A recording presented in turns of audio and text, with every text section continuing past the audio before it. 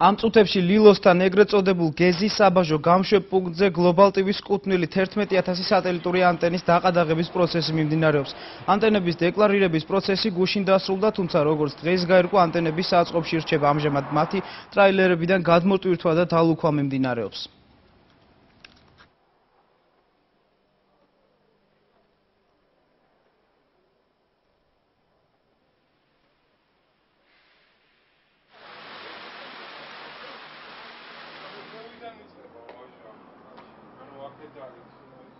დავა დეკლარირეთ ჩვეულებრივად.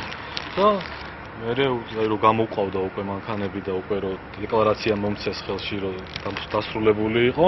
მე გავიგეთ რომ უკვე დაყადაღებულია გავხსენი დავათვალიერეთ გამომძიებლებთან ერთად და ეხა მიმდინარეობს დაყადაღების პროცედურა საწყობში შეგვაქვს თვითი ეხა და მე დააყადაღებენ დალუქავენ